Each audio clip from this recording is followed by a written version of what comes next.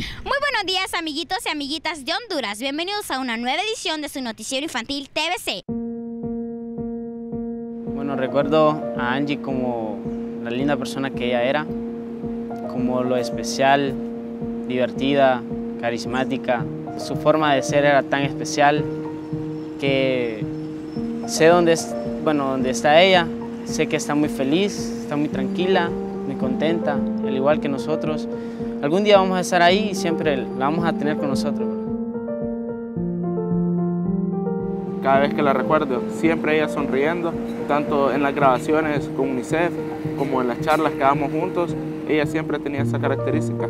Alegraba a todos, siempre estaba dando ánimos, era una persona que la sonrisa era algo permanente en ella, permanente en su rostro y eso es algo que siempre recordaremos de Angie como una persona feliz.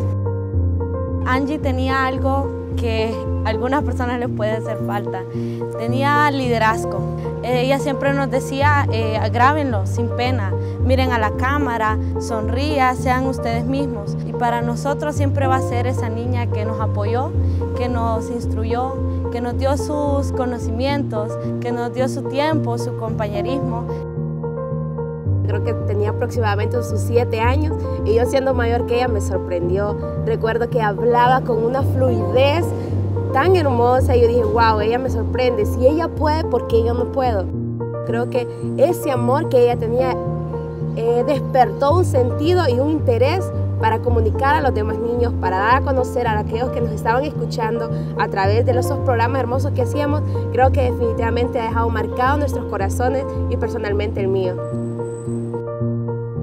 Chava que era un pilar fundamental para nosotros los comunicadores porque ella desde chiquita y ya eh, de su edad ya grande eh, fue una persona que nunca cambió, fue una persona que muchas personas desearían tenerla como amiga y es una persona que recordaremos siempre.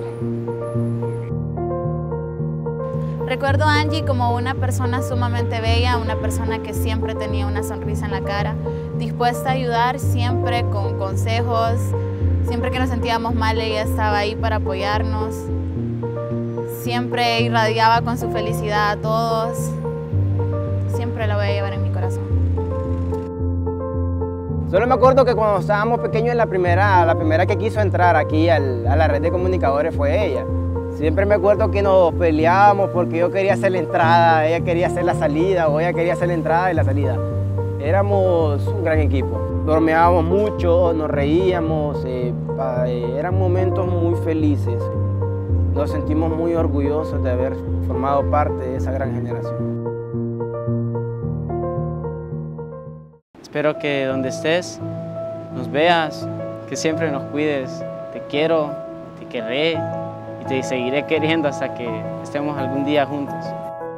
Aunque tus amigos, familiares, conocidos estén sufriendo por tu pérdida, que nunca borres esa sonrisa de tu rostro, porque es la sonrisa con la que ellos te quieren recordar, con la que nosotros te queremos recordar. Siempre te voy a recordar como esa niña hermosa, como esa niña con, de la sonrisa que siempre nos sacabas carcajada y para siempre te llevaremos en nuestro corazón.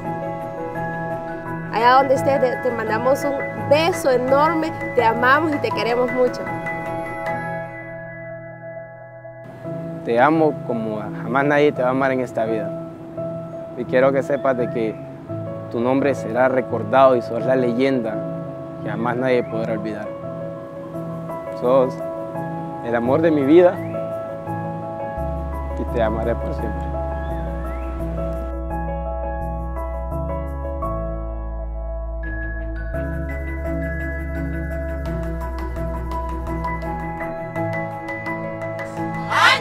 Amamos.